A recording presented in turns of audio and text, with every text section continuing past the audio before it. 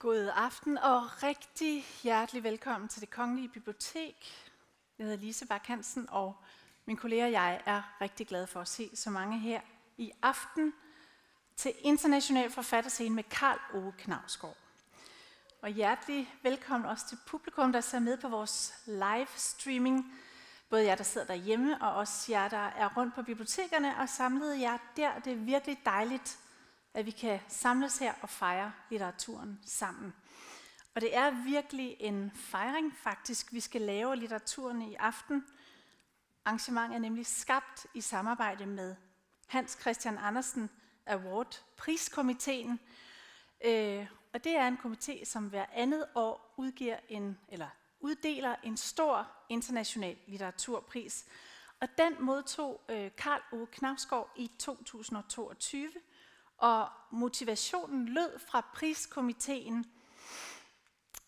Øh, han får den for sin intense fornyelse af feltet mellem roman og selvbiografi, et område, som også H.C. Andersen i stor stil udforskede, og for i lighed med H.C. Andersen at placere Skandinavien på det litterære verdenskort.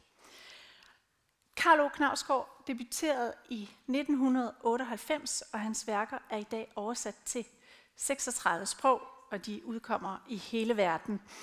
Øh, men det er Knavsgaards kæmpe projekt Min Kamp, øh, som han udgav en serie på seks selvbiografiske bøger, som for alvor satte hans navn fast også internationalt. Og senest er udkommet romanserien Morgenstjernen, Ulvene fra evighedens skov og senest, allersenest Det tredje rige. Alt sammen udgivet på Lindhardt og Ringhof, og vi skal faktisk nå næsten omkring det hele her i aften. Så det glæder jeg mig i hvert fald rigtig meget til. Øh, og til det, der har vi spurgt Katrine Timerinski om at interviewe Carlo Knavsgaard om sit værk her på scenen. Og hun har skrevet om hans forfatterskab i en række år, øh, og hun har øh, også læst ham, siden han, han startede med at skrive, og i øvrigt så hun også kulturredaktør på Weekendavisen. Og endelig så har vi også skuespilleren Benjamin Kitter med på scenen, og ham har vi med, fordi at vi gerne vil høre noget fra værkerne, og vi vil gerne høre det i den smukke oversættelse af, på dansk af Sara Kok. Til sidst så skal jeg lige rette en stor og meget varm tak til vores strålende samarbejdspartnere, fagforeningen DM og A-kassen MA, som gør det muligt for os at tilbyde billetter billigt til studerende i vores Students Only-netværk. Så skal jeg også sige en rigtig varm tak til samarbejdet med H.C. Andersen, priskomiteen, og selvfølgelig endelig til Lindhardt og Ringhof. Den her slags aftener bliver kun til noget takket være de store samarbejder i dansk kulturliv. Så mange tak. Tak fordi I kom. Tilbage er der bare at sige, tag rigtig godt imod Karl O. Knavsgaard, Katrine Timmerinski og Benjamin Kitter.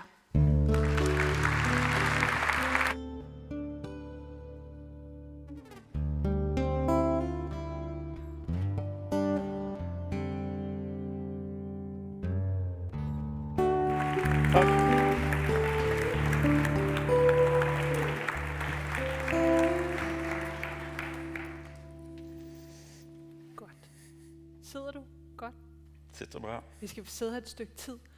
Øhm, for nogle år siden, for en del år siden, der skrev du et essay, hvor du påstod, at Madame Bovary var den bedste roman, der nogensinde er blevet skrevet. Er det stadig din overbevisning? Det skifter fra uke til uke, men, uh, men den er der oppe i, i top, top 10. Hvorfor er den så god? Oh, um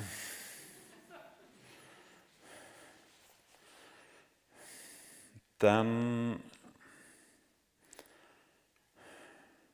Jeg prøver å rekapitulere og, og, ta den tilbake, for det er lenge siden jeg har lest den. Um,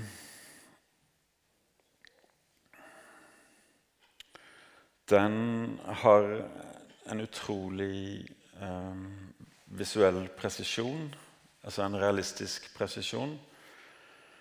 Og så har den um, noe som i alt det presise noe som er veldig upresist, og som handler om et, um, et slags begjær, en um, um,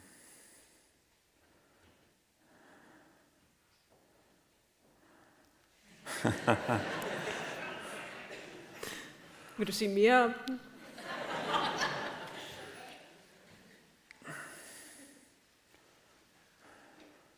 Kanskje. Vi kan også vende tilbage til den. Ja. Grunden til, jeg startede med at spørge dig om det her, det er jo fordi, at i aften skal vi tale om romanen. Og vi skal selvfølgelig først og fremmest tale om, hvordan romanen har taget form i dit forfatterskab. Øhm, kan du huske den første gang, du ligesom blev bevidst om, at der var noget, der hed en roman, og at den var anderledes end andre former for litteratur?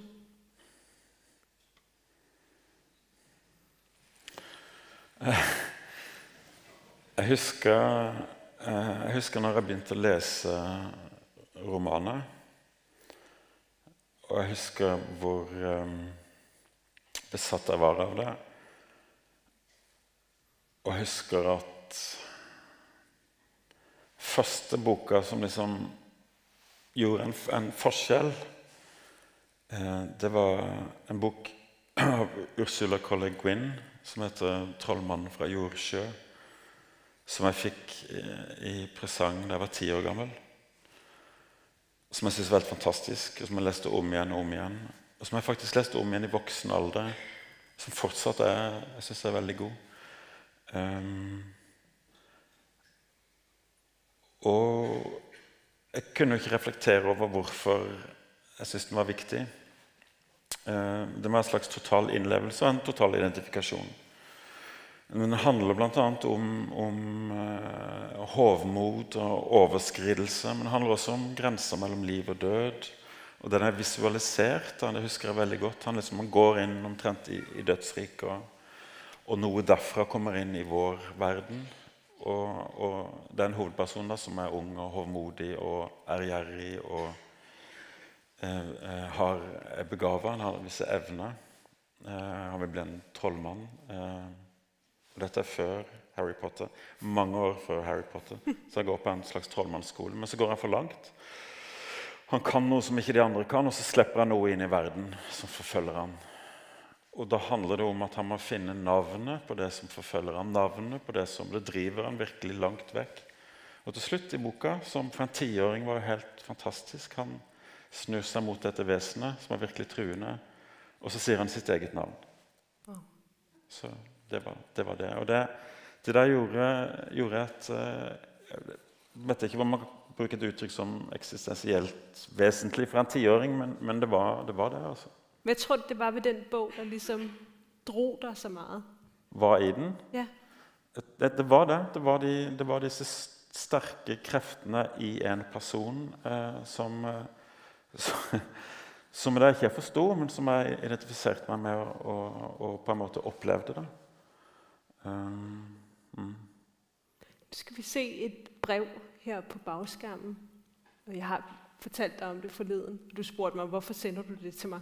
Det er et brev fra H.C. Andersen, som han sendte til Charles Dickens i 1857, efter han hadde tilbragt fem utrolig lange uger hos Dickens-familien, og Dickens hadde fått nok av ham.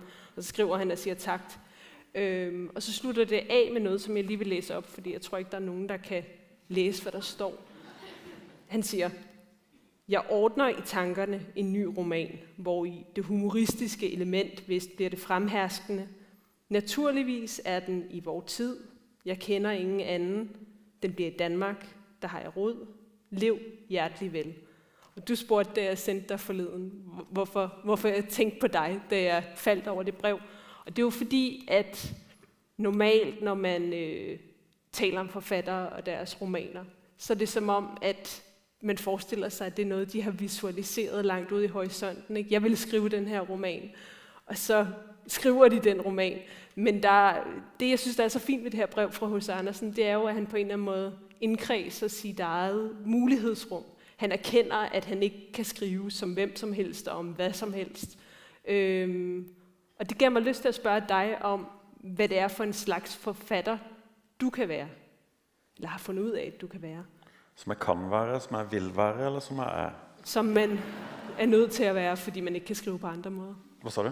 Så den man kan være, fordi man ikke kan skrive på andre måder. Ja. I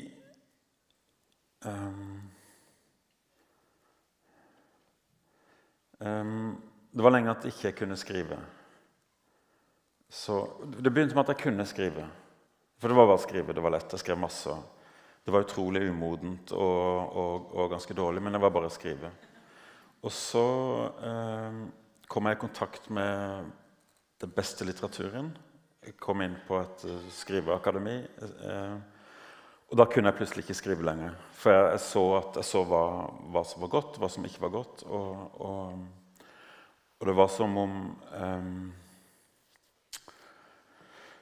du vet, Hvis du ser et, et, uh, på et laboratorium, eller noe sånt, så har de et objekt inn i en kasse, og så stikker de hendene inn i hansker og så flytter de rundt på det. Sånt. Sånn skrev jeg. Det var veldig langt unna, veldig stivt og veldig mekanisk. Og så um,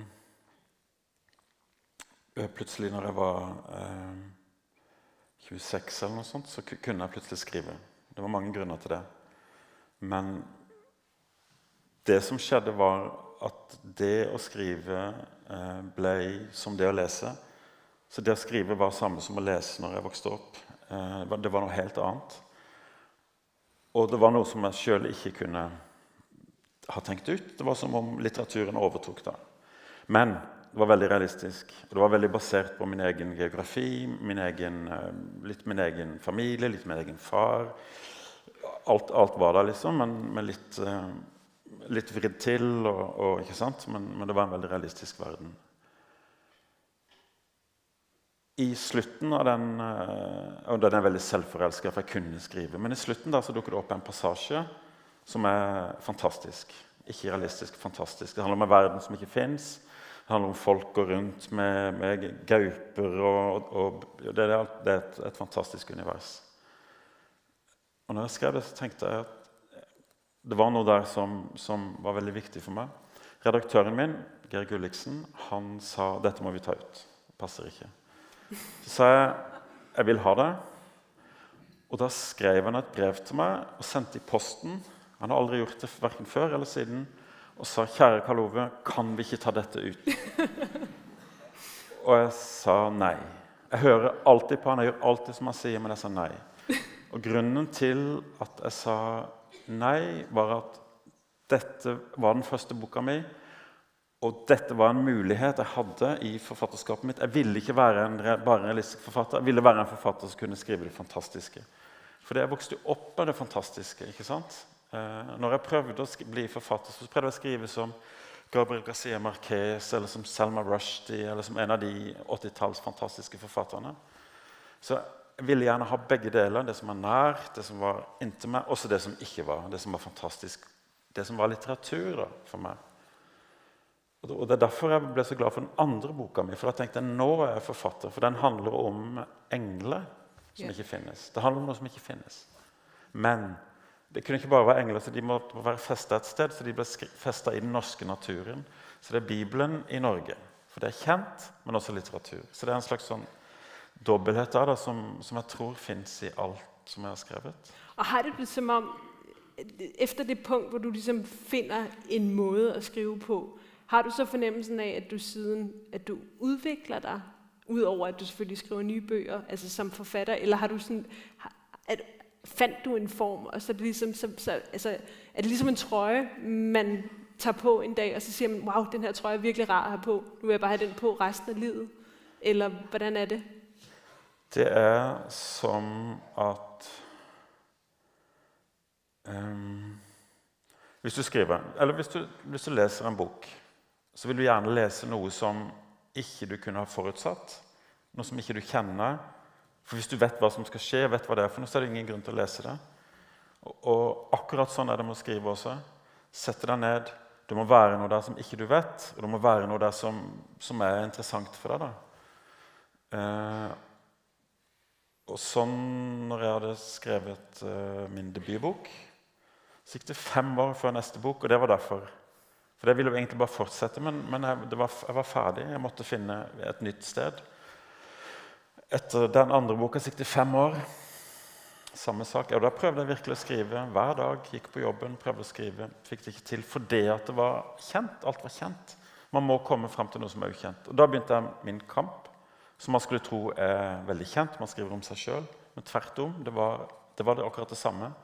Og Der fant jeg et språk som, som, som, ikke jeg hadde hatt tak i før. Som, eh, som varte i seks bøker.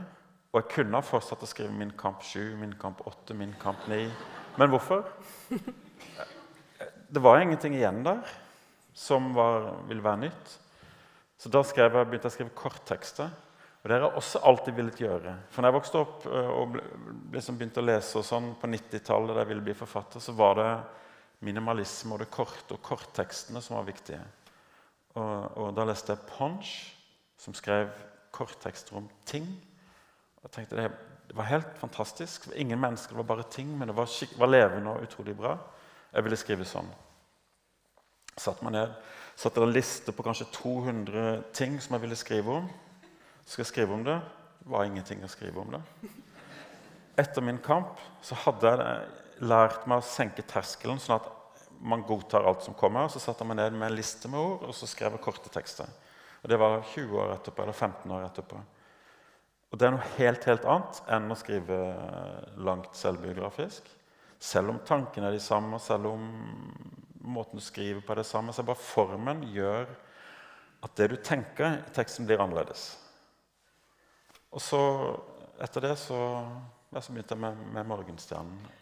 Men det virker som om du alltid forudser at du må ændre kurs, ikke? fordi du gir deg selv noen rammer. altså Med, med de korte tekster, det, blev, det var jo en årstidskvartet. Ja. Så allerede fra starten der lagde du an til kvartettens avslutning. Og også med, med den serie du er i gang med nu, med Morgenstjernen. Nu spurgte jeg deg før hvor mange bind du regner med, og du sagde seks hvilket jo er dejligt, fordi det vil sige, at vi har tre bøger til gode, men du har ligesom sat en ramme for det. Ikke? Du har sagt, at det skal slutte på et tidspunkt. Du kan ikke bare blive ved med at skrive om morgenstjernen til evig tid. Nej. Øh, hvor, hvorfor gør du det? Er det så en del af den her idé om, at du ved, at du vil blive træt af det?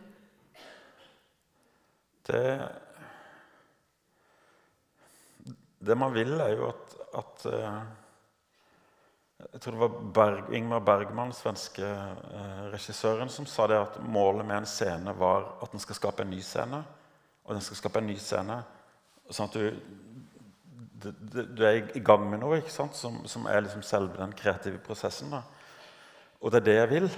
Og, og da må jeg sette, sette, en ramme eller en regel. eller Ikke at jeg er så veldig bevisst på det, men for her i disse bøkene så er det mange forskjellige karakterer som da gir en helt bestemt eh, retning, en helt bestemt tenkemåte og noen helt bestemte muligheter. Og som, eh, jeg hadde planlagt eh, egentlig én bok, og så ble det tre, så ble det fem, og så ble det seks. Og Det er fordi at liksom muligheten åpner seg pga. det utgangspunktet. da.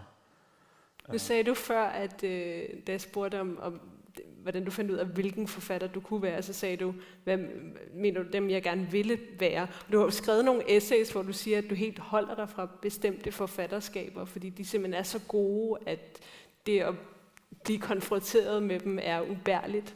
Har du det stadig sådan med nogle forfatterskaber, at du simpelthen ikke læser dem, fordi de er for gode? jeg har... Uh Nei, jeg har blitt modigere, så jeg tør. Men, men, eh, men det er den samme, samme følelsen. Eh, det der er, er veldig det der er veldig vanskelig, for det Ikke sant? Men nei, stort sett så leser jeg Stort sett leser jeg det jeg vil. Hvorfor er du blitt modigere, tror du? Hvorfor? Ja. Jeg tror at um, Jo, du snakker om hva slags forfatter man vil være. Ok. Så du tenker på H.C. Andersen. Hva slags forfatter var han? Han var jo um, Han var jo fullt av overskudd. Og han hadde ingen Virka som ingen selvkritikk. Bare, bare kom, bare, bare, ikke sant? Bare strømma gjennom han. Hvis du ser på hva han har lagd, han har lagt alt mulig. Men det er liksom ikke ett verk man tenker på. Det er H.C. Andersen. Den, vi glemmer alt det andre. Det er selve hele pakka. ikke sant? Og hvis du ser på hans samtidige eh, Søren Kirkegård, det er det samme. Det er et enormt overskudd ikke sant? i alle retninger i en, en kort periode, da, men hvor alle hans kjente verker kom. Det er det samme. Det er ikke ett verk du tenker på, det er det hele, hele pakka. Eh, tenk på August Strindberg i Sverige. Samme sak. Og jeg tror mitt ideal og jeg er jo ikke der, men er å skrive bøker, utgi de, skrive neste, utgi de, skrive neste, utgi de. For det er selve prosessen, som er, det å være i det, som er, er poenget. Så hvis du tenker deg til forfatterskapen gå opp dit, ned dit, inn dit, ut dit Og da må man slippe taket i at dette skal være fryktelig godt, at alt skal være fryktelig godt. Og det er fake. men det sier jeg. Jeg behøver ikke skrive gode bøker. Det er en måte å gardere seg på. Hvis folk sier det er dårlig, så sier jeg ja, ja. Det gjør ingenting. Men det er også en måte å, å klare å skrive mange bøker på. Og så senke terskelen. og så bare, ok, Det som kommer her, det, det, det godtar jeg, og så skriver jeg videre på det. For når jeg ikke kunne skrive i de fem årene, så, så hadde jeg altså jeg hadde, var 800 sider med begynnelse med første side eller første setning. Eller, jeg kom aldri videre, liksom. Så, så, så, det har jeg lært. Og jeg tror den, forfatter, det er det som er vilje, den forfattertypen vil jeg være. Da, en, som, eh, en som bare skriver. For noen måneder siden det holdt du en tale, øh, meget fantastisk tale, synes jeg. Øh, 'Why the Novel Matters' var titlen. Øh, og det var så underligt å lytte til den. Øh, den bliver også trygt efterfølgende, så man kan finne den på nettet. Men, men, men det var så underligt å lytte til den, fordi det plutselig gikk opp for meg hvor inspireret du har været av de altså, højmodernistiske forfattere. Joyce og Woolf. Og det, det, var sådan underligt, det var litt ligesom når man du ved, har en ven, som lige plutselig sier til deg at du gerne vil at de, at de går helt vildt meget op i å bage. Og, man er sånn What? Det har jeg da aldrig vidst. Ikke? Og så de altid går det op for en bagefter, at de jo har serveret kære for dig altid, som de lige har bagt. Men altså, det, er sådan, at, at det gav så meget mening, at du var til de forfatterskaber, og at de har betydet noget for dig. Men, men, men kan du ikke sige noget om altså, den der tid og de der forfattere, hvad det er, du har taget med dig fra dem? Ja, det, det der er jo interessant, for det, man læser jo bøker, og så Jeg husker aldri hva jeg har lest. Um, men jeg leser, og så skriver jeg. Så når um, Tilbake til den historien igjen. Når jeg ikke kunne skrive, ikke hadde debutert, så leste jeg meg selv Prost. Oppdaga meg selv Prost. Jeg var helt besatt. Jeg leste han hele sommeren. Jeg hadde ingen penger. Jeg satt og drakk vann på en kafé og leste meg selv Prost. Helt fantastisk. To år senere debuterer jeg som forfatter. Jeg så ingen sammenheng, men nå ser jeg jo liksom tatt alt derfra. Hele måten å tenke litteratur på, måten å tenke metaforer på. For han er jo en, en som åpner opp hele tida. Når jeg begynte å skrive, så var minimalisme det som var tingen. Var det dårlig, så skulle du ta vekk det dårlige. Og så var tanken at det som var igjen, skulle være ordentlig godt. Mens med Prost så er det det motsatte. Han, han bare legger til legger til og legger til og ekspanderer. da. Så han har for en, kan ha en, en scene sånn som dette, en scene som dette med folk her. Og så kan han lage en, en, at dette ser ut som en undersjøisk mm, ikke sant, Med anemoner, og at det er et, et eller annet sånt, det er litt rødt lys her. man kan tenke seg det. Bare med en sånn enkel metafor så, så, så har han etablert to verdener. En her og en under, under, uh, undervannsverden, og så kan han være i den undervannsverdenen. Og så kan han åpne verden etter verden etter verden, og alle verdenene ligger ved siden av hverandre. ikke sant? Uh, så man bare En metafor kan løfte det inn, så han åpner rom etter rom. Det er totalt motsatt av minimalisme. Det det, ikke sant? Um, men jeg tenkte ikke på at det var derfra det kom, men det var det. Så jeg har jeg også lest Joyce når jeg studerte litteratur i Bergen på 90-tallet. Eh, og jeg var 20, og jeg tror ikke jeg forsto så mye av det. Det er ikke det at den er vanskelig, men det er at det er uvant. Eh, og så har jeg liksom den, jeg kommet tilbake til den boka gang på gang. Jeg har lest den flere ganger. Og i og med at det er, skjer på én dag, så er liksom Men det er jo en hel verden, det er jo, en hel, det er jo et helt univers som utspiller seg på den dagen. Men de har ikke tilgang til historien. De har bare tilgang til historien sånn som det er akkurat nå. Så det fins egentlig ingen overbygning. Det alt er liksom bare splinter og biter rundt. Akkurat sånn som, sånn som vi lever livene våre. Overbygninger finnes jo ikke. Ideologier finnes ikke. De er alltid her og nå. ikke sant? Og Det er en slags sånn grunninnsikt fra den boka. Og når jeg skrev det essayet der, så handla det om, om, at disse bøkene, sånn som Joyce, går inn i verden før den har blitt historie. Før den har blitt tenkt. Sånn er det. Den liksom går inn mens den ennå holder på å bli til. Akkurat som Jeg aner ikke hva du kommer til å si om ett minutt nå. Jeg har ingen anelse. Jeg vet ikke. Ikke sant? Det kommer til å komme noe, men vi vet ikke hva det er for noe. Der går Joyce inn. Akkurat der. ikke sant? Det er der vi lever, det er der vi eksisterer. Og merkelig nok så gjør Virginia Woolf det samme. Ja. Og Det er derfor de er så gode, for de handler ikke om noen ting. Altså Der er det eh, Bloom spiser frokost, går på do, går ut i gatene, tenker litt. Det skjer egentlig ingenting. Men det er jo det som er, er livet. Og, og, og, og klarer gjennom romanen å, å komme inn dit. da. Og I det samme esset så, så, bruker jeg et annet eksempel. Um, som er en, uh, en, bok fra, som er veldig aktuell nå, for den er fra Ukraina.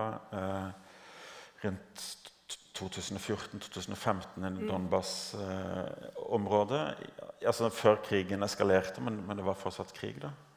Vi har lest masse journalistiske reportasjer derfra. Eh, ikke sant? Og en journalistisk reportasje Sånn er det. Dette skjer. Dette skjer. Vi har kontroll over dette. Vi vet hvordan det er. Han går inn og er der, og det har ennå ikke blitt noe. Det er egentlig ingenting. Det er bare noen som kanskje er fiende, ikke fiende. Noen snakker russisk, noen snakker ukrainsk. Vet liksom ingenting. Det, det befinner seg et slags, sånn, slags ingenmannssted eh, som virker utrolig sterkt når du kontrasterer det mot den måten vi tenker verden på, som gjennom journalistikk og gjennom For det at uh, vi tror jo at vi vet hva som skjer. Mm. Ikke sant? Er det en konflikt der? Vi vet hva som skjer der. Men, vi, men, å være der er noe helt annet. ikke sant? Og det er det romanene kan gjøre. De kan åpne opp for det rommet, da, tenker jeg. Det er en god point. Det er Sergej Shadan han heter. Ja, ja. Mm, ja. Jeg tror, det er et godt tidspunkt nå å få lest det første stykket opp, og det kommer fra Det tredje rige, som utkom i siste uge på dansk. Det er jo tredje bind af den her morgenstjerne-serie. Øhm, og afsnittet, vi skal høre, det er skrevet, det handler om øh, ja, en ung kvinde. Får vi det læst op?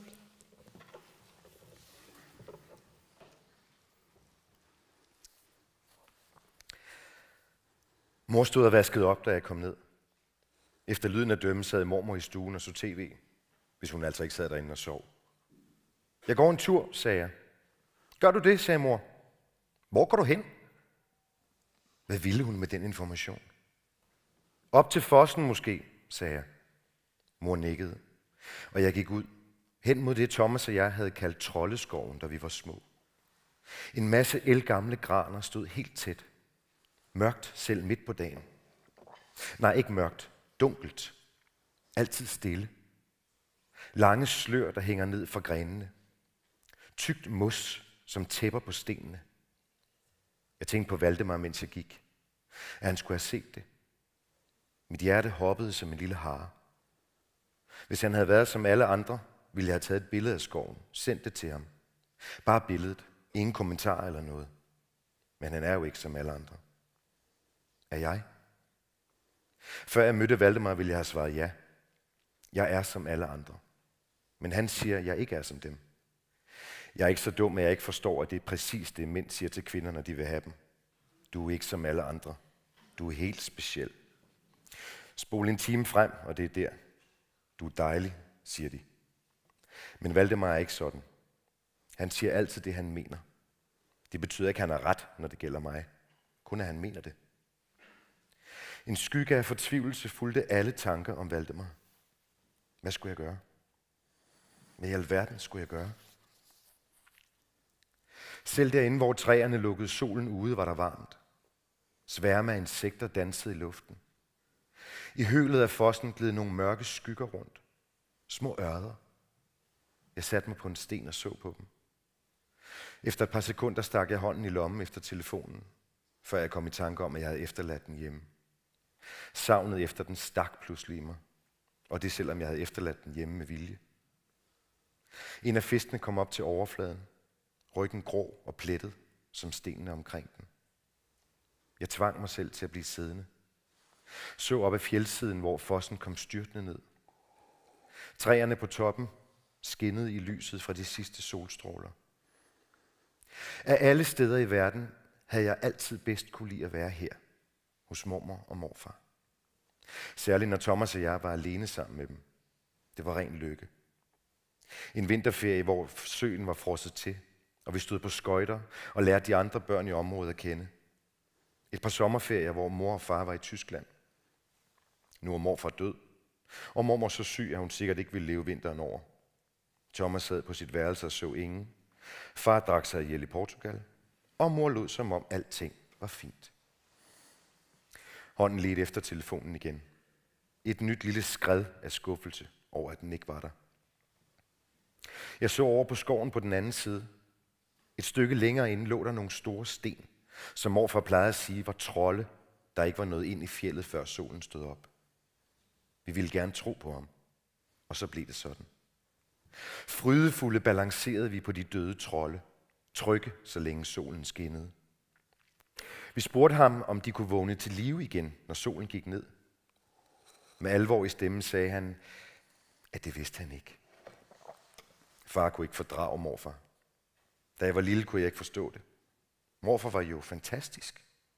Fuld af historier. De bare flød ud af ham. Og så lå han så meget. Han havde formodentlig heller ikke kunne lide far. Og det havde far selvfølgelig forstået. Og så blev det sådan, at det var ham, der ikke kunne lide morfar. Ikke omvendt. Da mormor fik Parkinson, sagde far til mig, at det var arveligt, og at hvis jeg fik det, når jeg blev voksen, måtte jeg forstå, at det ikke kom fra hans side af familien. Så ikke noget at fortælle en otteårig. Bevægelserne i dybet af fossen var ophørt, og jeg brugte lidt tid på at finde fiskene igen. De stod helt stille lige over bunden.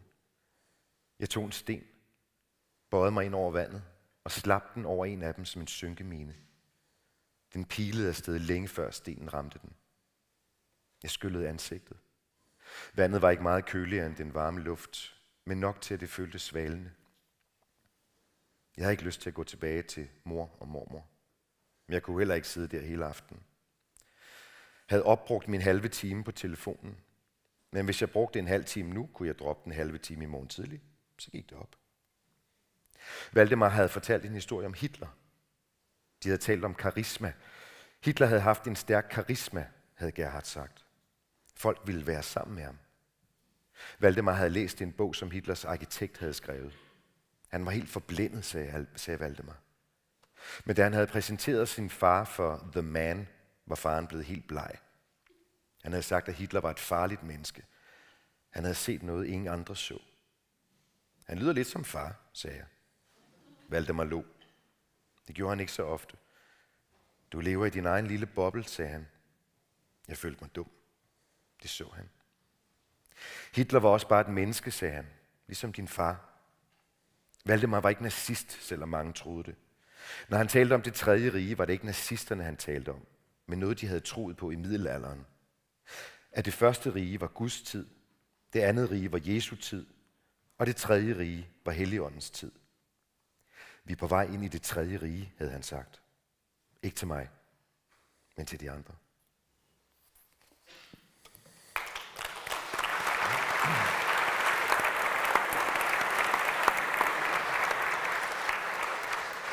Man får jo et indtryk af, når man hører det her øh, afsnit. Det er Line, hedder hun, den unge kvinde, som lige har forelsket sig i Valdemar, som er forsanger i den norske black metal band og har nogle meget okulte, okulte idéer. Øh, men når man hører det her, så får man jo den her fornemmelse af, at, at bogen her jo opererer med nogle af de samme idéer, som du også talte om før. Ikke? Det her med at være i øjeblikket, være inde i hendes tanker, som det ser ud øh, i, i nuet. Øh, og, og jeg, jeg tænkte på, altså når du, da du skrev det her, hvad, hvad, hvad, hvad, hvad hvad skal jeg sige, hvad er det med det her øjeblik? Altså i bogen i Morgenstjernen, der er en stjerne, der er dukket op, der ikke har været der før.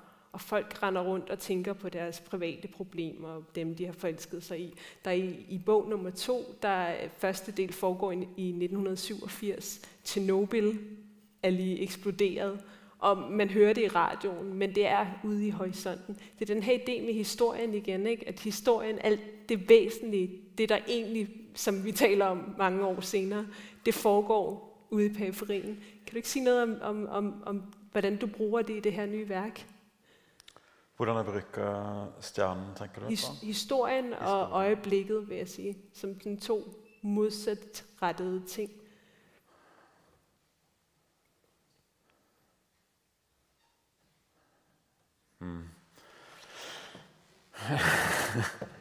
Um,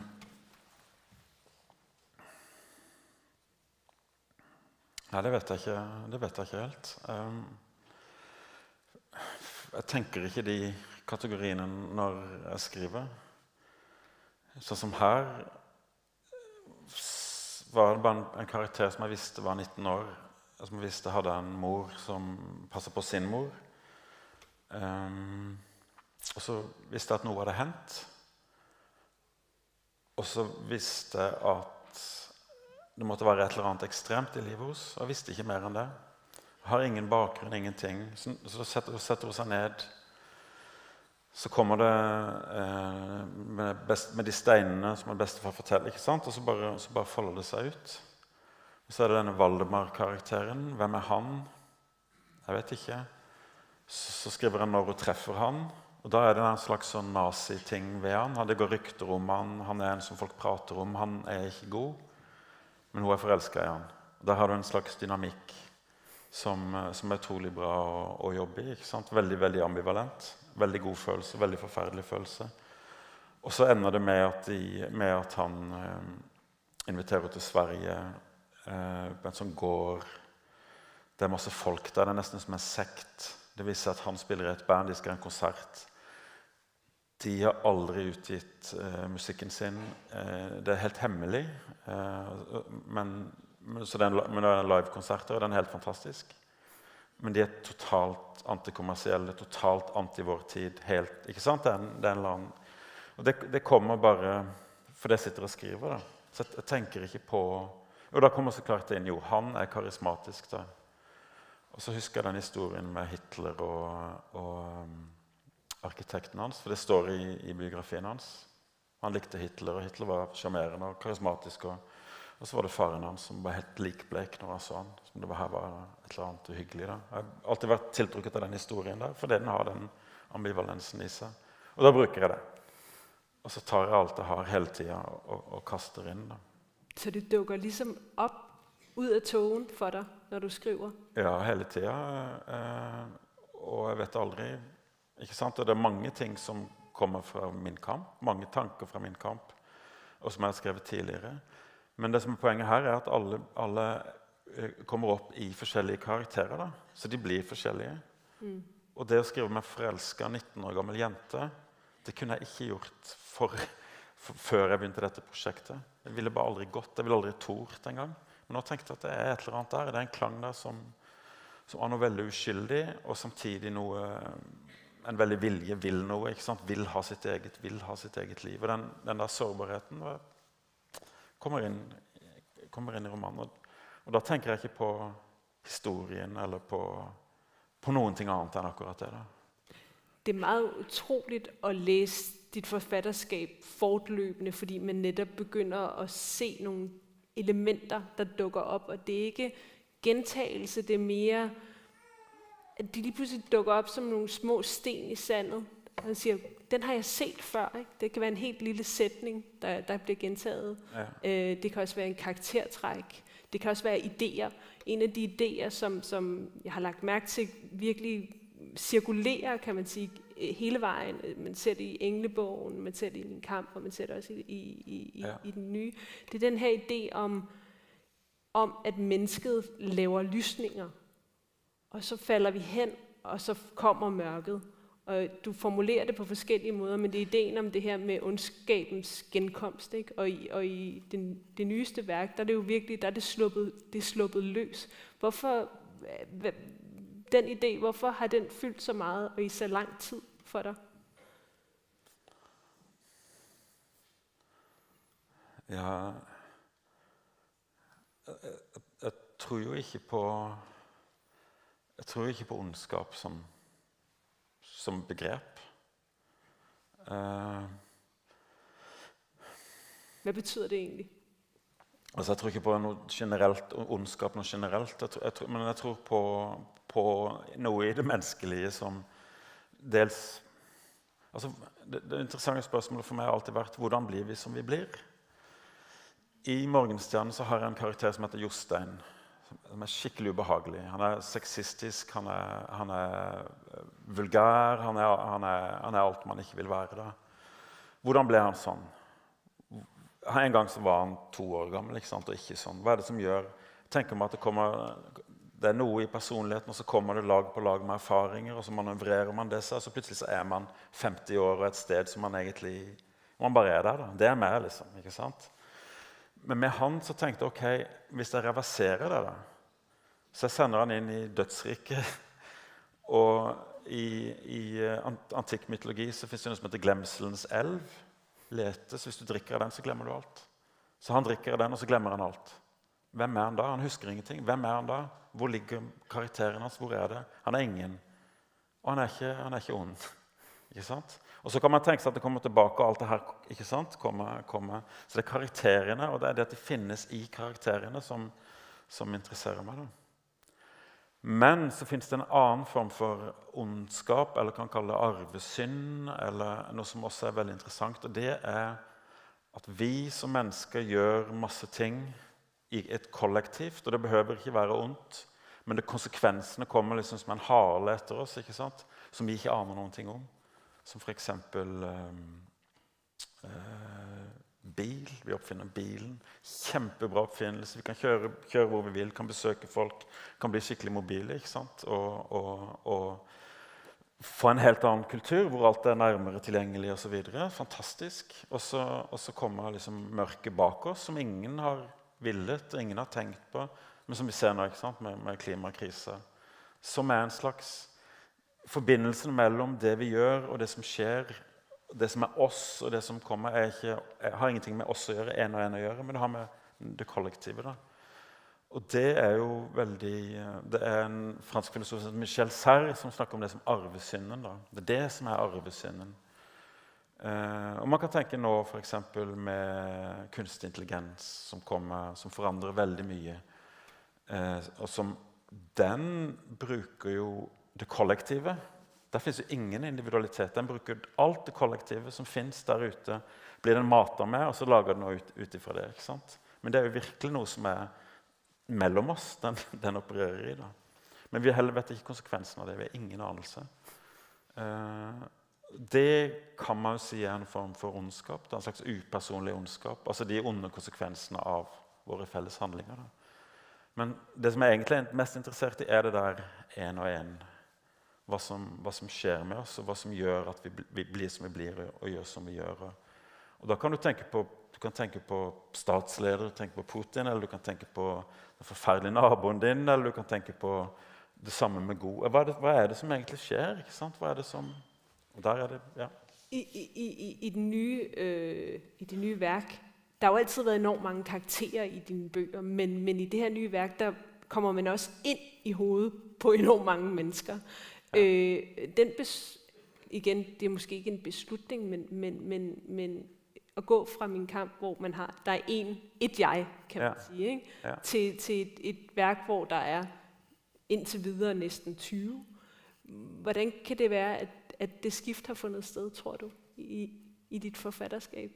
Men det er jo derfor. Det er fordi at jeg følte jeg hadde tømt ut helt det der med å være ett et menneske. Og, og, der er det jo sånn at hele verden er jo inni det ene mennesket. ikke sant? Det er bøker, det er filmer, det er andre mennesker, det er kultur, det er politikk. det er Alt mulig er der. da. Men det er tross alt bare ett, en, en vei, måte å se verden på derfra. da. Så tenkte jeg visst, ja, men sånn er jo alle.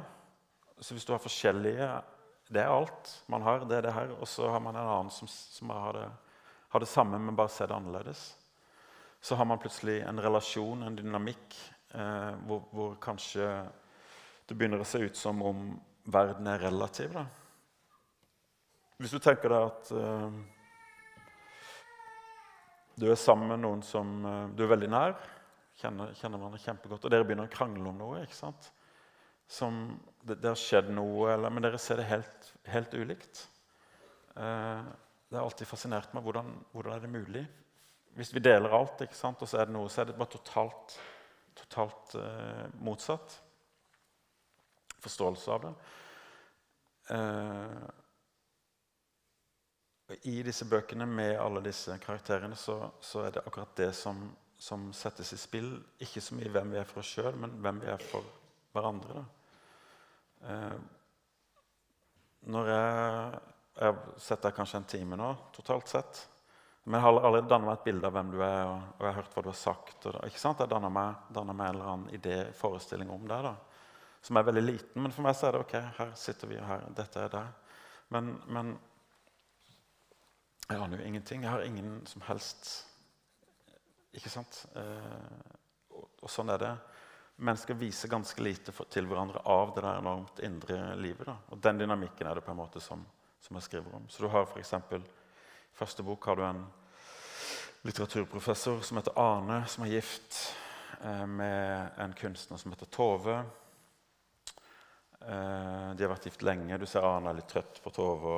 Og, og, ja, men ikke sant, det er et eller annet. Ja, sånn, sånn er det. I tredje bok så ser du alt sammen fra Toves synsvinkel, hvor alt ser helt annerledes ut. Det var et annet par, eh, Katrine som er prest, Gaute som er lærer, de er gift. Eh, du får Katrines versjon, og så i tredje bok får du Gautes versjon, som ser helt annerledes ut. Men de ser på det samme. da. Og Tanken med Morgenstjernen er jo at alle disse forskjellige menneskene lever sine liv, har sine oppfatninger, og så ser de på det samme utenfor som ingen vet hva er for noe. Der er en karakter som, som var helt overraskende. Og det er jo selvfølgelig den russiske biolog, der pludselig dukker op i bog nummer to. Jeg må indrømme, da jeg læste det, så måtte jeg ringe til en af mine venner og sige til ham, han var også i gang med bogen, og sige, prøv at høre, det er fuldstændig vildt. Nu har han skrevet en, om en russisk dame. Og det er jo i 2023, jeg ved ikke hvorfor, men det virkede så vildt, Altså også når man netop kommer fra at have skrevet om sig selv, var det svært at skrive en russisk kvindelig karakter. Hvorfor skulle hun med? Jo um, Så den boka, uh, 'Ulvene fra evighetens skog', begynte med at uh, jeg visste ikke hva jeg skulle skrive. Så jeg gikk gjennom gamle saker jeg har skrevet, for jeg kaster ingenting. Og så fant jeg et manus uh, fra 2012 30 sider om en karakter. Jeg hadde helt glemt at jeg hadde skrevet det, og hadde aldri vist det til noen. For jeg syns det var så dårlig. Eh, jeg pleier å vise alt til redaktøren min, men det viste jeg ikke til han. Han het Syvert. Han, eh, han, kom hjem fra militæret. Eh, han hadde en mor, en far som var død, og en bror. 30 sider. Og Så leste jeg det om igjen så tenkte jeg, men det her er jo her er en slags, Jeg likte karakteren godt, for han er, han er godmodig. Han er jovial, han er utadvendt. Han, han, er alt det som ikke er som jeg skrevet om. Og så tenkte jeg ok, jeg, jeg, går inn og ser hva som skjer videre der. Samtidig så leste jeg en bok om Russland. En, eh, en sosialantropolog som heter Bernstein eh, hadde skrevet en bok om Russland. Og Der sto det om en demonstrasjon i Moskva mot døden. Eh, også med plakater og sånn, ikke sant? og folk som pratet. De var mot døden. da. Og så leste jeg mer, og så, så skjønte jeg at her er det faktisk en kultur eh, og en, en slags idéverden i Russland som begynte på slutten av 1800-tallet med en spesifikk filosof som heter Fjodorov. Som Dostojevskij beundra, og som Tolstoy ville være venner med. Han var utrolig interessant i seg sjøl. Han var asketisk, levde bare for den ene ideen, og den ideen var eh, var om eh, Hvis vi setter inn alle krefter vi har, alle mennesker bare jobber med den ene saken, kanskje vi kan gjenoppvekke de døde. Alle de døde. Det, det bør være mulig. ikke sant? og, og på en måte samle sammen alle atomer og alt og, og gjøre det. Det er helt sinnssykt det, men Dostojevskij tok det på alvor. ikke sant? Så det er en, en gjenoppstandelsesidé. Og siden da så har den ideen funnet i, i den russiske kulturen. Så for romanens del handler det da om at jeg har en norsk person, 20 år gammel, nokså snill gutt, eh, og romanen skal til Russland. For jeg vil skrive om dette. Og så var det å finne måten å, å komme dit. Og da, da, er det at faren hans, som er død, har skrevet brev med en, med en eh, russisk eh, kvinne osv. Og, så og da kom jeg til Russland. Og da var jeg i et rom ok, Jeg visste at det skulle være rundt 40. Så da står jeg og kikker ned. Jeg visste ikke hva jeg skulle jobbe med engang. Eh, eh, og så ser hun på ser ut på gata det snør, det er Moskva. så hører hun at det er noen i rommet ved siden, og så går hun dit, så det er sønnen. Han er 19 år gammel. Jeg tenker biolog, kanskje, fordi jeg er interessert i livets begynnelse istedenfor døden. som den første boka. Hvor skal hun hen? Jo, hun skal forelese på universitetet.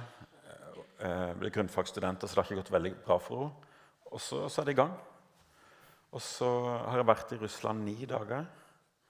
Og de ni dagene er brukt liksom til det fulle her. da, så Alt, alt er autentisk av steder og sånt. Men, eh, men eh, ja. Så det var enormt risikabelt. Eh, for jeg aner ingenting om hvordan en kvinne tenker, jeg aner ingenting om hvordan en russer tenker, jeg aner ingenting om biologi. Men, men, men det var det å kaste seg ut i det. da, Og så sendte jeg manuset til jeg har en kusine som har bodd i Russland, som er russisktalende, og min russiske oversetter, ba de lese det. Og, da, og, og kommentere, liksom. Og det var som enormt praktiske kommentarer. For det er alltid det praktiske man gjør feil. da. Så karakteren din tar toget i Russland og er på toalettet, og det fins toalettpapir. Jeg vil aldri hende. Så må vi må skrive bort toalettpapir. ikke sant? Sånne ting, da.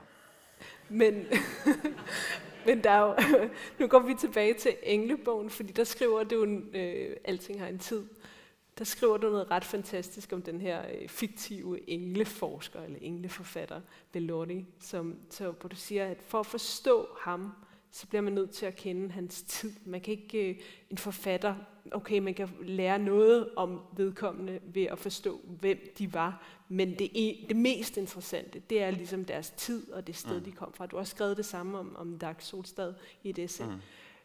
Hvis du skal forklare, beskrive, hvad er din tid egentlig? Fordi nu, nu, nu, lever, nu mener jeg ikke sådan, at øh, det hele epoken, men har du en særlig tid, der er mere din end andre? Fordi, altså, ja. Eh, altså, det har jeg. For det, eh, når jeg begynte den eh, andre boka, 'Ulven i evighetens skog', så er det 1986. Eh, for min del er det da rundt sånn 18-19 år gammel. Eh, vent litt 18, 1996 78, 88, 20 Ja, 19. 18-19. Eh, og den boka jeg skriver nå, den, og det er helt, også helt tilfeldig, den er satt i 1986, den også. I London, riktignok. Eh, men det er noe med at den tida kjenner jeg 100% på en måte. Mens, eh, men, og, og, og, det helt, jeg agerer helt naturlig i den. da. Jeg tror at det har noe med det at når du er 20, så er din verden ferdig. Ferdig danna. Da er du i verden, på en måte. Da har du kontroll, og da vet du.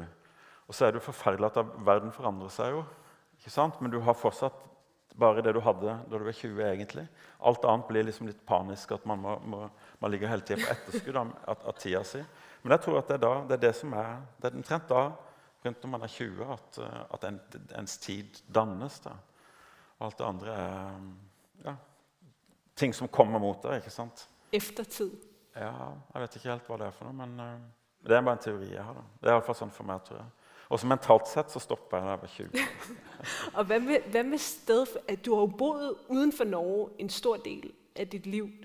Kan det et eksil. Du har bodd i Sverige, nå bor du i, i, i London. Ja. Øh, hva er det egentlige sted? For?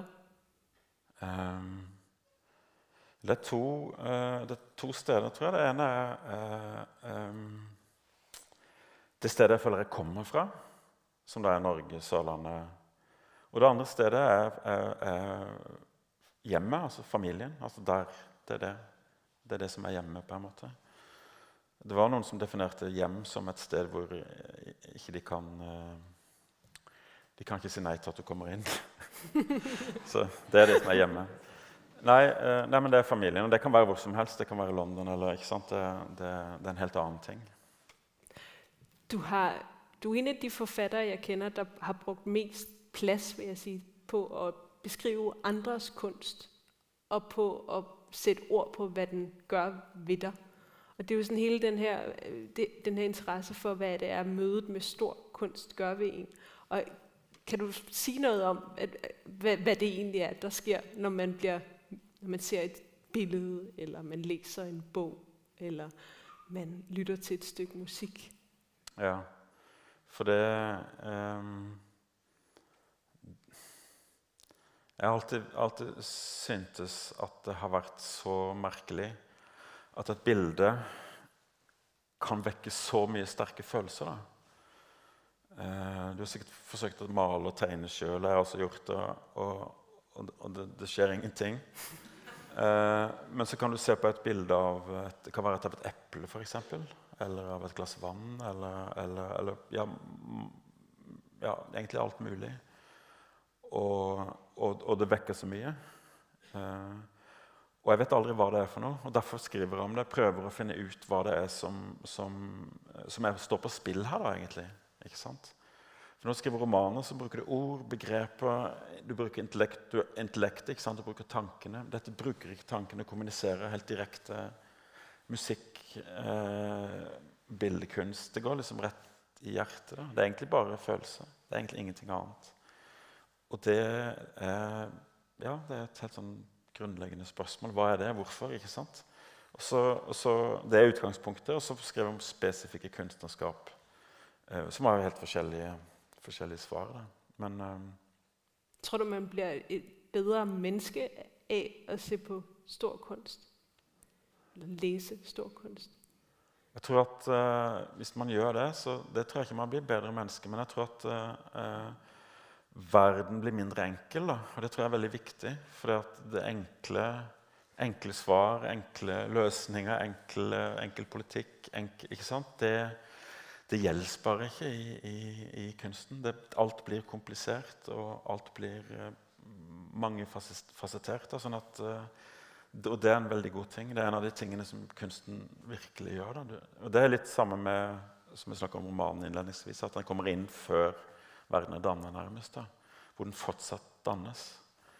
Um, så det tror jeg så, så Jeg har alltid sagt det med kunst. Ordentlig kunst er det motsatte av nazismen. Og det er helt absolutt det motsatte.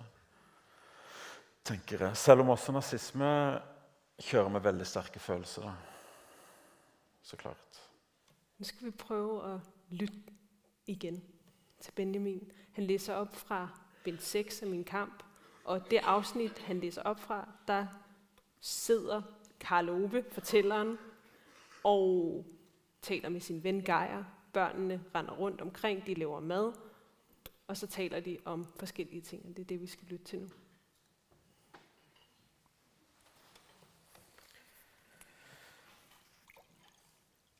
Vil du have en øl, eller hvad? sagde Geir, da jeg kom ud i køkkenet igen. Hvorfor ikke? Så vi strukturerer altså det sociale rum, sagde han og åbnede køleskabsdøren. Jeg satte mig ned. Han rakte mig en øl. Vi gennemdesigner det fysiske rum. Vi har en forhøjet bevidsthed om alt. Hvem der har designet den gaffel, vi spiser med, ved vi. Vi eliminerer alle farer og tager alle forholdsregler for alt. Det, der så forsvinder, er spontaniteten. Hvorfor ønsker vi, at spontaniteten skal forsvinde? Hvad opnår vi ved det? Spontanitet er uoverskuelig. Den kan ikke gentages. Gentagelse er nøglen til kontrol. Der er vi. På en måde er cirklen sluttet, sagde jeg. Hvad mener du? Neandertalerne, sagde jeg. Åh, dit yndlingsemne. Hvilken indsigt har du udledt af deres bedrøvelige liv i dag, monstro? Tror du, de var spontane? Når du spørger sådan, er svaret nok nej. I løbet af de 200.000 år, de boede i Europa, udviklede de sig overhovedet ikke. De lavede præcis det samme, da de kom, på præcis samme måde, som de gjorde, da de forsvandt. De boede til og med præcis de samme steder. I en hule i Frankrig boede en stamme i 40.000 år. De forsvandt først, da hulen bræste sammen. Det er som en familie skulle have boet på en gård i 40.000 år. Det er fuldkommen utænkeligt. Men ikke for dem. De lavede det samme værktøj. De jagede på samme måde. De spiste den samme mad. Ikke én ting ved dem forandrede sig. Det er fascinerende, er det ikke? At vores nærmeste slægtninge ikke var i stand til at forandre sig. At fremskridt var et helt andet begreb, et fremmed begreb for dem. Ingen improvisation, ingen spontanitet. Det fandtes ikke. De første mennesker repræsenterede en ufattelig revolution, da de kom. Det, der adskilte os fra dem, var netop det, vi nu forsøger at fjerne. Det er nu, du skal sige, at det ikke er så længe siden de første mennesker kom. Ja, men det er det jo ikke. Og dengang var der mange forskellige slags mennesker, der levede side om side. Det kommer over til at ske igen. Hvis du tænker, lad os sige, 300.000 år frem i tiden, så bør der være andre mennesketyper her. Måske allerede efter 60.000 år. Ja, du må hilse dem fra mig. Haha. Men ved du, hvor mange neandertalere der var? Nej. Et højt gæt vil være 20.000. Et lavt 10.000. Det ligger et sted derimellem. Og det var dem alle sammen. Så tænk lige på, hvordan Europa så ud. Helt mennesketomt. Kun dyr og fugle, skove og sletter. Og så 15.000 steder i neandertaler. Spredt i huler rundt omkring på kontinentet. That's it. Din utopi? Næsten. Men den største forskel mellem de første mennesker og neandertalerne, ved du hvad det var? De havde ikke røde pølser. Menneskene havde smykker. De bar tænder fra de døde omkring halsen. De tænkte altså symbolsk. Der er mere mellem himmel og jord.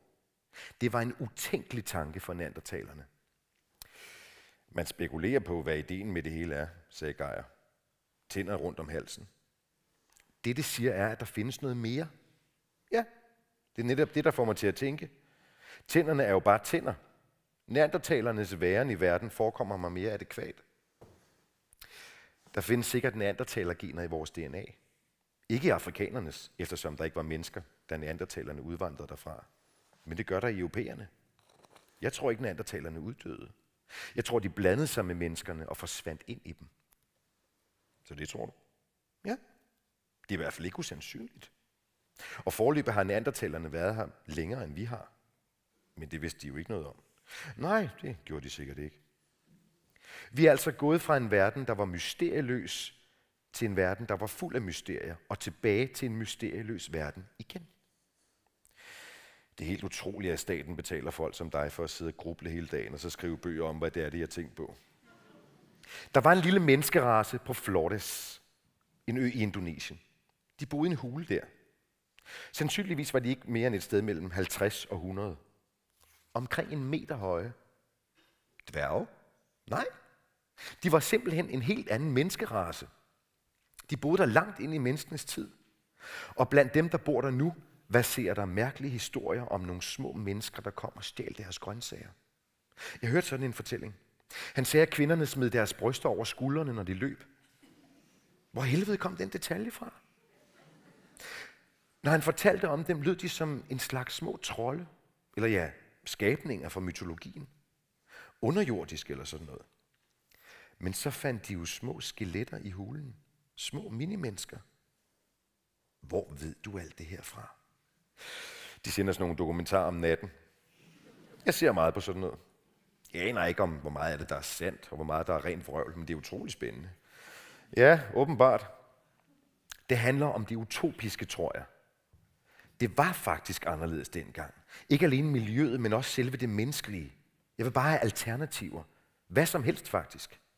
Så du vil gerne være neandertaler, er det det, du siger? Nej.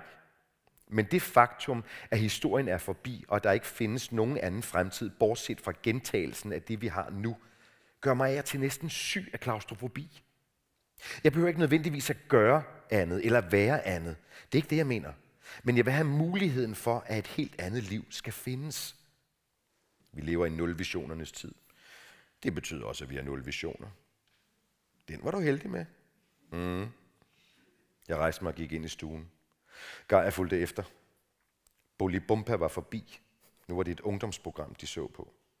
Jeg slukkede og så på Gaia. Skal vi give dem et bad?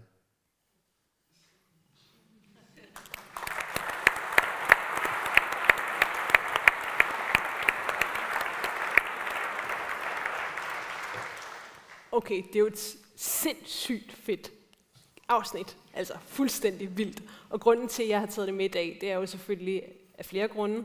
Den ene, det er, at den indeholder den her formulering, jeg vil bare gerne have alternativer. Det er jo en af de her idéer, der går igen i dit forfatterskab igen. Den her længsel efter at vil have noget andet. Den her idé om, at en anden verden er mulig. Hvorfor bliver du ved med at sige det, og få dine romankarakterer til at råbe det? Fordi jeg føler det så sterkt selv. Um, ja um, Man kan jo aldri vite om Hvis man føler noe, om man uttrykker Om følelsen er allmenn, om det er som det er, eller om det bare om det er personlig. Da. Men, men jeg har, en, har hatt en følelse av at framtida nå er bare mer av det samme. Det fins liksom ingen ingen kan ikke tenke oss en annen framtid, eller, eller, at noe skal skje som skal endres, eller at det skal være en slags utopisk dimensjon. Eller, ikke sant? Det, følelsen jeg har, er at det er dette, og det blir mer av dette. Det kommer ikke til å forandre seg. Men det sinnssyke er jo at ting har aldri forandret seg så mye som det har gjort de siste 10-15 årene. Det er bang, bang, bang nye ting hele tida. Hele vår sosiale verden er snudd opp ned. ikke sant? Og Allikevel sitter jeg og føler, tenker kommer ikke til å forandre seg. kommer alltid til å være det samme. Og det har jeg på en måte lyst til å, å, å skrive om da, og er interessert i.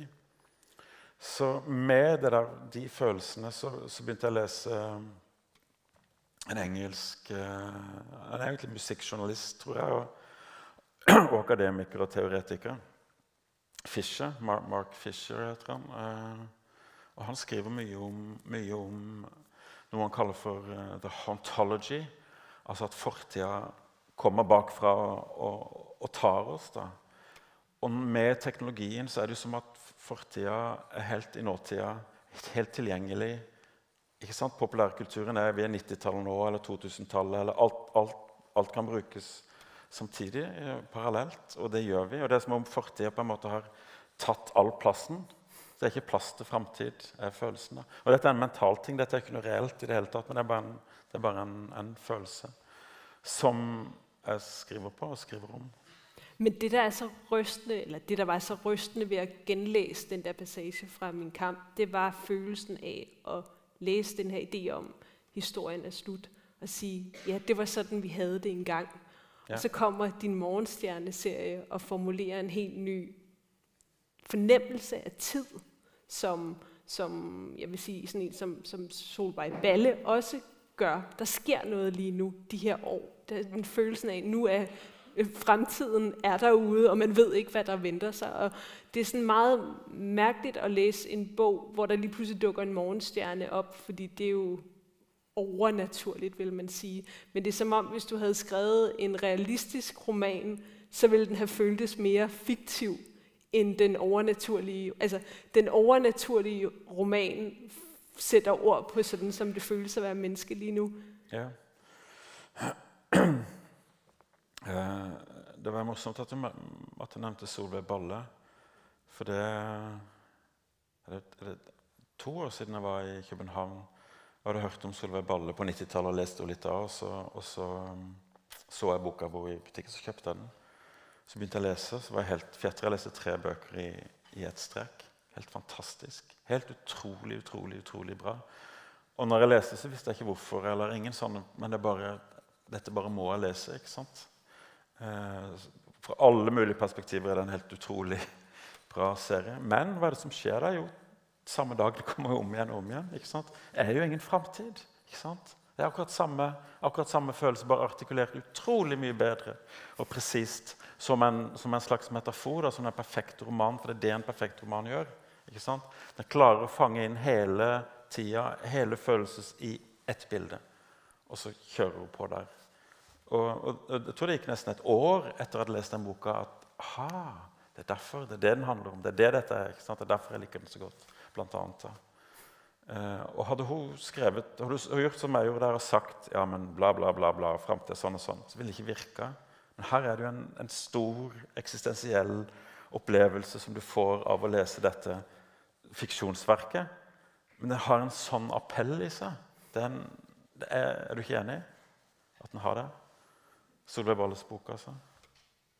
Måske også de. Det syns jeg i hvert fall. At, at, kan du se, giver det mening for deg at de to bøger, de to værker føles? Altså, kan du se forbindelsen til ditt eget værk også, når du, når du tænker på Solveig Balle, eller, eller ser du hende som en av de noget helt andet? Må jeg se forbindelsen mellom Solveig Balle og Mellom Morgenstjernen og, og, og, og hendes bok? Altså, dels når jeg leser en sånn bok, så, så er jeg helt, jeg helt barn igjen og bare leser og syns det er fantastisk. Og dels er jeg utrolig misunnelig. Og hvorfor, hvorfor, gjorde ikke jeg det? Ikke sant? Jeg kaster vekk alle kreftene mine på det her mens det fins. Og det er, ikke, det er sant. Det er, sånn, det er sånn det føles. Så det er forferdelig. Jeg synes det, det er godt du leste den. Men vi skulle jo ha talt sammen i november, og så ble det avlyst. Og jeg er på en måte enormt glad for at det skete, og vi så sidder her nu, fordi i mellemtiden er der jo sket noget fuldstændig vildt, som er kunstig intelligens. Den udvikling, der ligesom startede i december, da ChatGPT kom på gaden. Ja. Hver dag nærmest nu, så sker der noget nyt. Og jeg synes faktisk, at den udvikling gør, det, gør noget andet synligt i dit forfatterskab, som er, at det helt fra starten jo har handlet om den menneskelige bevidsthed, og det har handlet om menneske, menneskets essens, kan man sige. Og det har handlet om, hvordan ser tanker ud. Og det, det er jo også noget af det, du udforsker i, i det tredje rige. Men når du går de her uger og tænker over, hvad alt det her nye betyder, i forhold til det, kan du, kan du sige noget om det? Det som disse bøkene handler om, men, men, men veldig vagt, veldig langt i bakgrunnen, som jeg gjerne vil sirkle inn, er rett og slett at uh, menneske og maskin gror sammen. Ikke sant? Vi kommer nærmere og nærmere. Så teknologien og mennesket, teknologien, biologien kommer nærmere og nærmere og, griper i hverandre. Og Det er forferdelig å holde på med et sånt prosjekt, og så skjer dette, ikke sant? som er liksom et nytt steg med maskinen nærmere bevisstheten. da, ikke sant?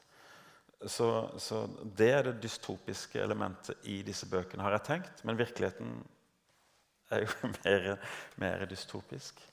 Um, men nei, men det Hva skal jeg si? Jeg syns at uh, Jeg hadde en kamerat som for seks måneder siden Han jeg hadde teknologijobber med det. Han sa at uh, snart så kommer maskiner til å kunne skrive bøkene dine. Så sier jeg nei, kom igjen, jeg vil ikke være dum. Jeg er helt, helt latterlig ut. ikke sant? Er du så teknologisk optimistisk? ikke sant? Og så skjer dette, og så, og så sender han meg en tekst hvor han har bedt Eh, kunstig intelligens skrive i min stil. Da. Så får jeg en tekst med min, i min stil, liksom, som en maskin har gjort. Så. Var det godt? Hva skal du si? det, det, mangler, det, mangler, det, mangler, det mangler sjel. men, men, men, men, det er jo, det er jo en, en samtale, når, når, når vi taler om romanen, det er jo holder folk helt opp med å skrive bøker. Er det, er det, tror du Nei, det er det motsatte som kommer til å skje. Det, det, eh, det er akkurat det motsatte som kommer til å skje. At, at, det menneskelige, det nærværet, det som før het sjelen, kommer til å bli mye mye viktigere. Eh, for så klart, det, den intelligensen her er jo bare å samle sammen alt det som allerede fins. Og, og det er som et slags enormt hav av det kollektive underbevisstheten som den forsyner seg av.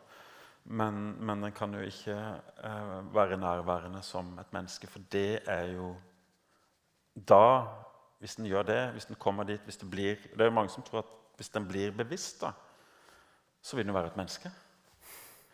Men det som er interessant, og som også disse bøkene litt holder på med, er eh, om vi kan tenke oss andre former for intelligens. For kan vi tenke oss at skogen er en form for intelligens som er så fremmed at vi ikke kan engang forstå den som intelligens. Det er ikke så lenge siden man begynte å forstå at trærne kan ha minner. Trærne kan faktisk ha, ha noe som minner om, om tanker. Da. Det er en utenkelig tanke 15, for 15 år siden. Nå er, den, nå er den der. Nå vet vi mye mer hva som skjer. Vet at trær kommuniserer. ikke sant? Og, og det her er en, Hvis man tenker seg på kunstig intelligens men, ja, det er en annen form for intelligens, og vi vet ikke hva det er for noe. Men poenget og hele problemet er at vi vet faktisk ikke hva vanlig intelligens er for noe. Vi vet ikke hva bevissthet er for noe.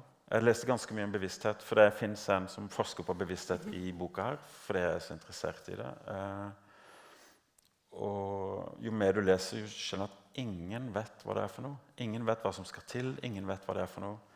Og Samtidig er det jo det eneste vi har. Så det, er det eneste vi vet, er bevisstheten. For det er det vi ser hele verden med. Det er så totalt mysterium. ikke sant? Eh, bare en sånn enkel ting som det.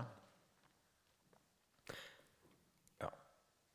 Romanen har jo alltid vært den her underlige parasitt, der sprang på noen bestemte mennesker opp gjennom historien, og så ændrer formen seg underveis som tiden går. Og hvis vi nu siger, at okay, det her, den her udvikling, der finder sted nu med kunstig intelligens, folk, forfattere og mennesker bliver ved med at skrive romaner, kan du så forestille dig, at der kommer til at finde en indre ændring sted i romanen? Altså, okay, det jeg mener, det er, at op gennem det 20. århundrede, der holdt, øh, der døde Gud, og forfatteren, de fleste forfattere, de forholdt seg liksom til det faktum at der ikke var den her ydre kraft. Og Det hadde også betydning for hvordan romaner ble skrevet. fordi ja. den ydre stemme ga ikke så mye mening mer. Hvis vi nå sier at den her kunstige intelligens er der nå, mm. nu, er, nu er den ydre stemme. Nu, nu er der, altså, det er det der med at for at man kan forklare noe, så skal der være noe over det. Øh, tror du det kommer til å endre romanen på den måten? Uh. Hvis du tenker på Madame Bovary igjen, så, så du spurte meg hva den handler om. Jeg hadde litt vanskeligheter for å svare på det. Men, men den, um, den handler jo egentlig om virkeligheten og et bilde av virkeligheten. Virkeligheten og en fiksjon som møtes i fiksjonene. Og spørsmålet der kan du si er ja, hva er virkelig? Og Don Quijote, som er den første romanen, hva handler den om? Jo, den handler om en som har et fantasibilde av virkeligheten som krasjer med virkeligheten. Det er den første romanen. Hva er virkelig? Og det er romanens spørsmål, eh, som den kan elaborere på i alle mulige slags måter og former og sjanger osv. Men det kommer til å bli enda mer essensielt å spørre seg om det nå. Hva er virkelig? Hva vil det si å være virkelig? Hva vil være forskjellen på å lese en bok som en kunstig intelligent har skrevet, hvis den rører meg? Hvis jeg begynner å grine av det? Hva, hva, hvor er vi igjen da? Hva er virkelig? Det, det, er romanens spørsmål, egentlig. Så jeg, jeg, tror ikke at det forandrer noen ting. Kanskje det bare tilspisser den konflikten. Er det noe du ikke har skrevet om ennå, som du tenker det skal jeg skrive om? Det skal jeg nå å skrive om?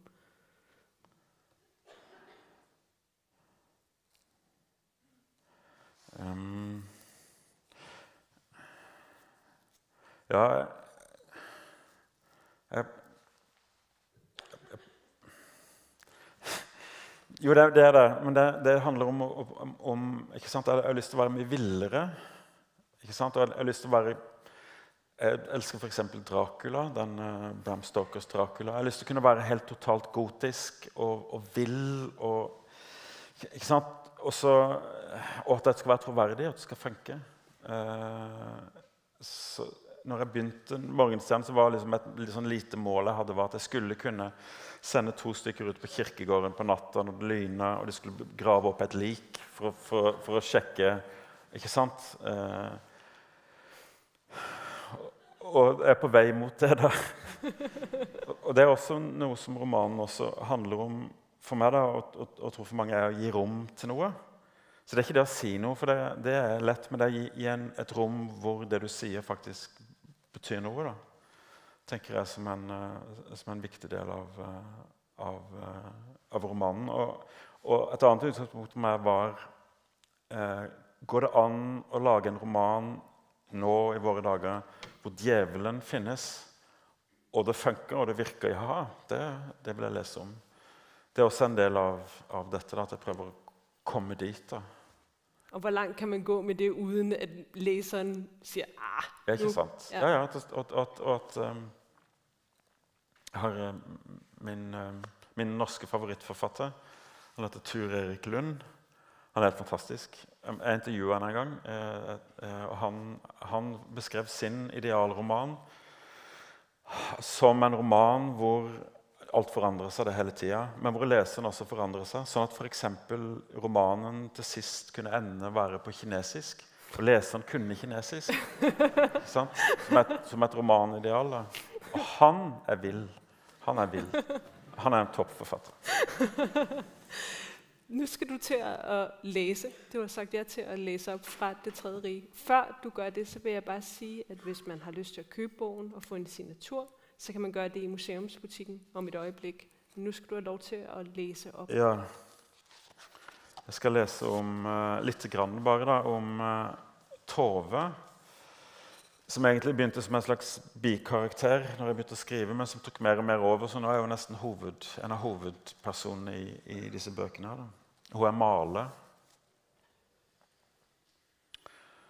Den ettermiddagen fant jeg et perfekt sted i skogen. En bar, bratt fjellvegg nederst på en stigning, som i enden åpnet seg en smal kløft. Jeg tok med meg et halvfullt spann med rødmaling og et uåpnet med hvitmaling fra skuret. La det sammen med noen koster og pensler og børster og kluter i sekken og gikk ned dit. Mosen drysset av lett som ingenting. På kortveggen i kløften malte jeg ham like stor som han var, i profil, rød som blod. På framsiden lot jeg det myldre av krabber, fugler, fyrstikkmennesker. Noen av dem på kne i bønn, noen med kuker stående ut som små spyd. En av kukene bøyd i vinkel. Og da jeg malte den, begynte jeg å le igjen. Oppe i atelieret stakk jeg en gul tube olje i lommen og ble stoppet av Arne. Han ville plutselig at jeg skulle lage middag. Jeg kom meg løs og malte en gul stjerne over ham på veggen i kløften og en gul sol over de myldrende figurene. Jeg ante ikke hvor lenge malingen ville vare. Kanskje noen uker, kanskje noen måneder. Hva visste jeg? Kanskje noen år. Men uansett var planen å komme tilbake og hogge dem inn i fjellet. Det var lett, om enn ikke fort gjort. Da jeg ikke lenger kunne se detaljer, og det røde var grått, la jeg sekken innerst i kløften og bega meg til kirken. Det var i kveld den nye stjernen skulle komme, og hva ville være et bedre sted å se den fra enn utenfor Guds hus?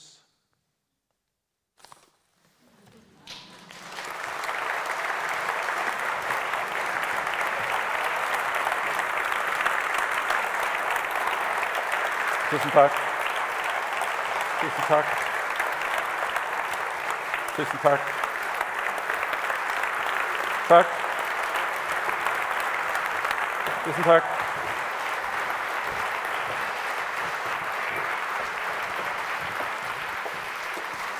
Takk.